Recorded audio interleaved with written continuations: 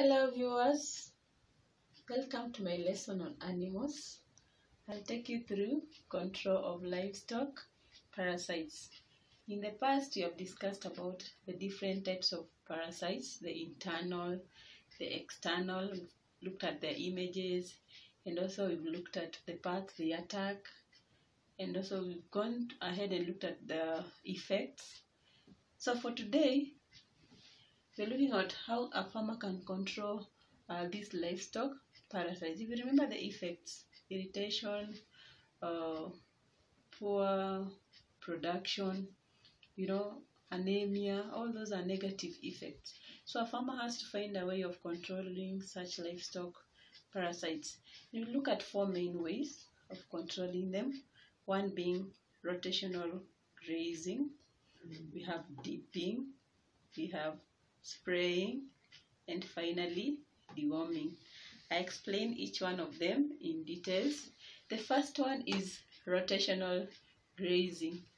In class 6, we discussed a lot about rotational grazing. I looked at paddocking, strip grazing, tethering as methods of rotational grazing. So they play a very major role in controlling both internal and external parasites. So how does this happen? When animals are moved from one paddock to another, some parasites such as ticks and tapeworms may die due to starvation. You find that these, parasites are found on the grass, especially ticks. So if it's a paddock, and a, piece of land divided into like 10 paddocks, by the time, uh, if the ticks were in maybe paddock 1, by the time the animals come back, they got, I mean, they got paddock 2, 3, by the time they come back to paddock 1, the ticks that were on paddock 1 will have already died and tapeworms due to starvation or rather lack of food. Again, their cycle, breeding cycles are broken.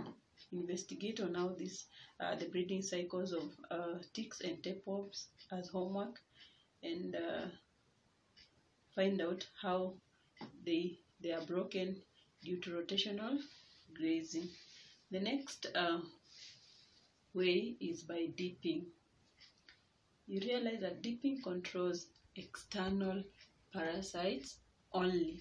Which are these external parasites? They include ticks, they include mites, and fleas. We looked at them earlier on. And in dipping, we use chemicals called acaricides. In other words, acaricides are chemicals that are used to control livestock parasites. So the chemicals are in a structure called a cattle dip. I'll take you through how a cattle dip looks like. And what happens is that in the dip, the chemicals are mixed with, there's usually water in the in the cattle dip. And then when you mix that water with chemicals, the acaricides, you form something we call a dip wash or a plunge, in other words. So the animals, if you want for effectiveness, you can be dipping your animals at least once a week. So this is how a cattle dip looks like. At the beginning, this is a structure of a cattle. At the beginning, we have a footpath where uh, it's the entrance where the animals get in. As you can see, I'll be comparing the two diagrams. So the animals get inside through the entrance. Uh, there's a sloping ramp somewhere here. So after they, they are on the last slope, they automatically fall into the water or in the dipping tank that contains the dip wash. Remember, a dip wash is a mixture of the chemicals and the deep water.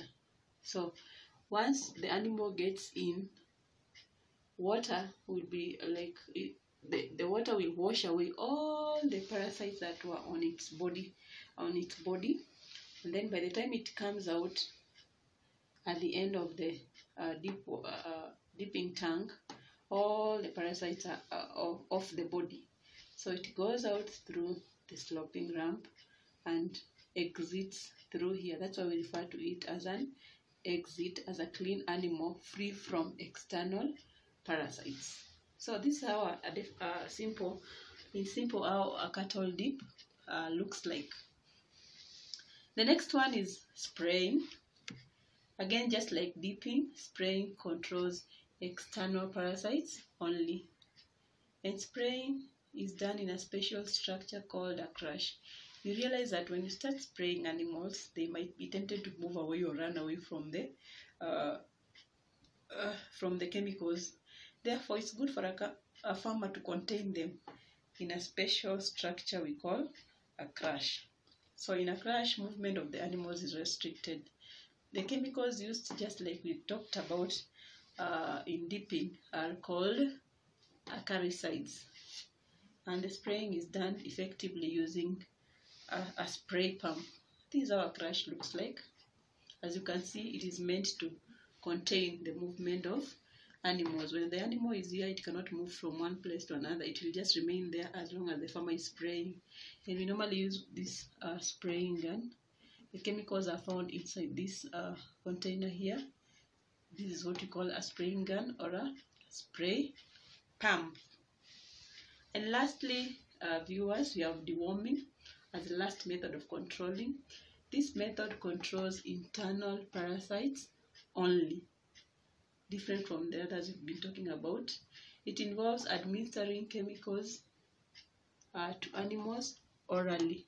The word orally means through the mouth. Deworming is done through two main ways that is, dosing and drenching. Dosing and drenching. Sorry. And what is drenching? Drenching simply means giving liquid medicine to the animals using a drenching gun. In human beings, you, know, you talk of a syrup. The medicine is form of a is in form of a syrup, and it is given using a drenching gun. I'll show you it looks like.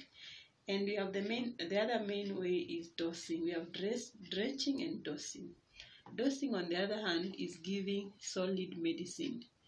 In, that is medicine in form of tablets using a dosing gun or a bolus gun. I'll show you what it looks like. What you need to put in mind is that drenching is giving of liquid medicine while dosing is giving of solid medicine in form of tablets. This is in form of a syrup. So how does a drenching gun and a dosing gun look like? This is how a bolus, uh, a bolus gun or a dosing gun looks like. So a farmer will fix a tablet at this uh, knob here and then pull the trigger. Of course, uh, the, the, the tablet uh, goes directly into the mouth of the animal. And remember, the animal is restricted maybe in a crush. And maybe some uh, they need the help of another person to help open up the mouth of the animal so that the tablet goes straight into the mouth. And again, we have a drenching gun. A liquid medicine is put inside this container, and the farmer pumps inside as the medicine, the liquid medicine leaves through this uh, pump into this uh, gun. That when you pull the trigger, the liquid medicine uh, gets into the mouth of the animal uh, comfortably. So uh, these two uh, tools are used in administering medicine to the animals orally, and we refer to them as deworming devices. So with that, uh, I want to put some points across that you realize that these methods, some will control internal, others external. What have we learned? Rotational grazing controls both internal and external parasites. Dipping controls only external parasites. Spraying also controls only external parasites. Deworming controls internal internal parasites only. So with that, I come to the end of my lesson. Thank you for watching my lesson and uh, remember to like my video and uh, subscribe for more. Goodbye.